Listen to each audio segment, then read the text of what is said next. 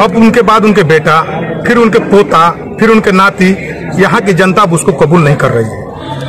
और इस राजनीतिक बंधुआगिरी को उतार फेंकने के लिए बेलागंज की समस्त जनता कृत संकल्पित हो चुकी है।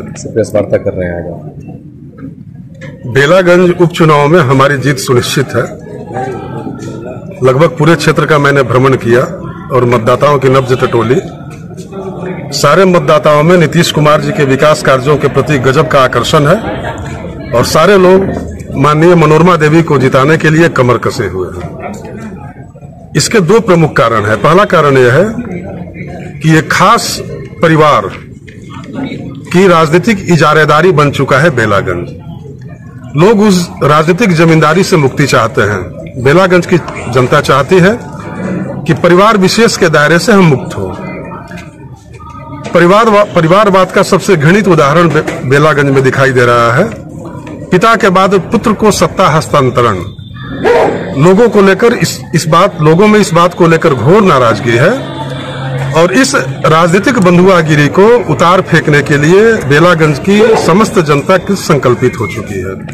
वहीं दूसरी ओर नीतीश कुमार जी का विकास कार्य लोगों के सामने है।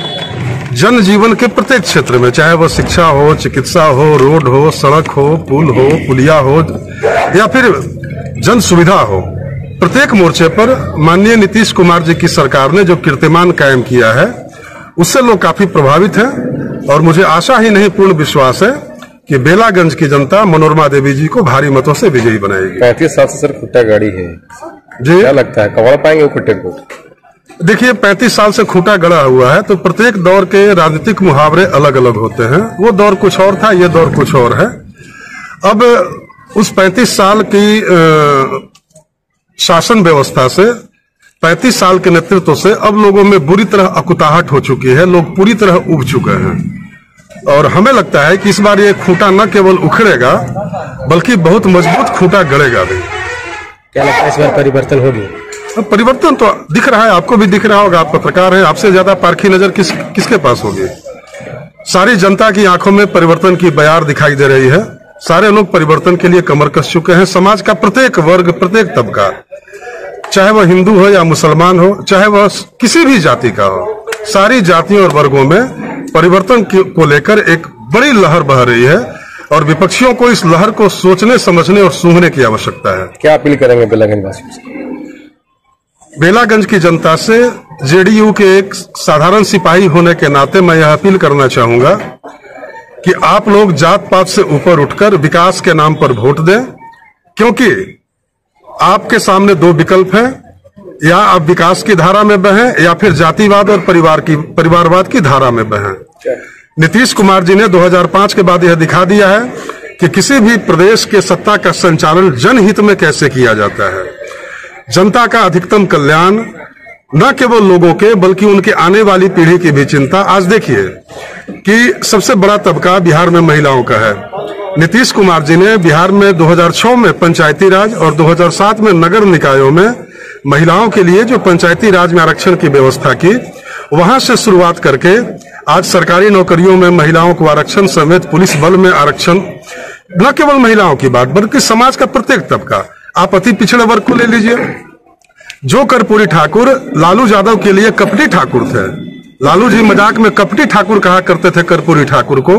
आज असु, आज उसी अति पिछड़े तबके के लिए नीतीश कुमार जी ने विकास की गंगा बहा दी है।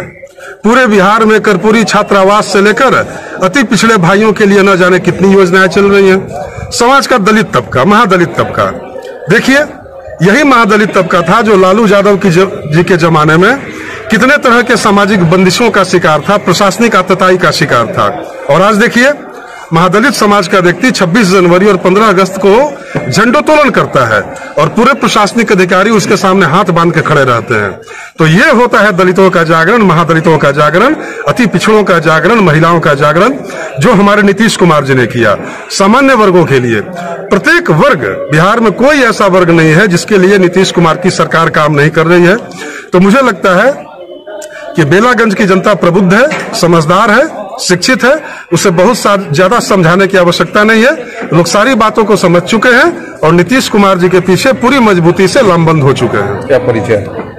नवल शर्मा जेडीयू प्रवक्ता। क्या? बेलागंज विधानसभा की जनता मूड बना लिया है बदलाव का।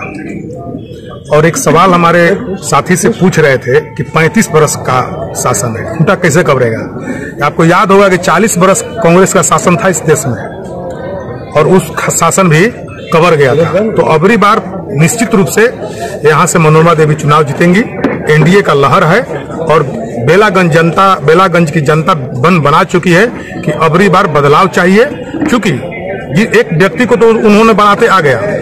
अब उनके बाद उनके बेटा फिर उनके पोता फिर उनके नाती यहाँ की जनता अब उसको कबूल नहीं कर रही है। इसलिए जनता ने मन बनाया है कि अबरी बार मनोरमा देवी को जिताना है तीर छाप को वोट देना है और एनडीए के हाथ को मज़बूत करना है और जब बेलागंज चुनाव जीत के जाएँगे फिर 25 में बिहार में एनडीए की सरकार बनाएँगे। अभी बताया गया है तीसरी आँख खुलेगी राजद के द्वारा। देखिए यहाँ यहाँ तीसरी आँख का कोई महत्व नहीं है। जनता के आँख के सामने किसी के आँख का कोई महत्व नहीं है। जनता ने मन बना लिया। है और ये मैं नहीं कह रहा हूँ आपको भी पता चलता होगा। सब एक स्वर में बोल रहे हैं कि ये सीट किसी के पिताजी का नहीं है कि जीवन भर कहीं आदमी रहेगा। बदलाव संसार का नियम है। कभी धूप कभी छाया कभी जाड़ा होते रहा है आगे भी होगा और यहाँ अबरी बार मनोरमा देवी सौ में सौ परसेंट चुनाव जीत रही हैं और यहाँ से जीत करके जाएँगी। ये जनता ने मन को बना लिया है ठान लिया है। क्या कहेंगे बेलागंज वासियों से? बेलागंज वासियों से मेरा अनुरोध है कि आप सभी लोग एनडीए को वोट दे करके तीर छाप एक नंबर पर है मनोरमा देवी का चुनाव चिन्ह। तीर छाप को वोट दे करके चुनाव जिताइए और एनडीए के हाथ को मज़बूत करिए और बिहार में नीतीश कुमार जी का जो विकास की धारा बह रहा है उसमें सहयोग करने का अपील करने का। क्या परिचय? वशिष्ठ सिंह मेरा नाम हुआ। वैसे तो हम प्रदेश के महासचिव हैं और यहाँ के चुनाव प्रभारी हैं। सिवान से चल करके आए हैं हम लोग। और जनता दल के नेता हैं। अब हमारी पत्नी वहाँ से सांसद और विधायक रहे। कविता सिंह कर रहे हैं सर। कैंपेन में में आए हैं और अपने प्रत्याशी जनता दल यू के प्रत्याशी एनडीए समर्थित जो है श्रीमती मनोरमा देवी जी उनके पक्ष में जनता से अपील करने आए हैं कि माननीय मुख्यमंत्री नीतीश कुमार जी के शांति अमन चैन और विकास को आगाना है, उनको और मज़बूत करना है। मनोरमा देवी जी को वोट करिए और जिताइए और बिहार में शांति अमन चैन जो चल रहा है, इसको और मज़बूत करिए।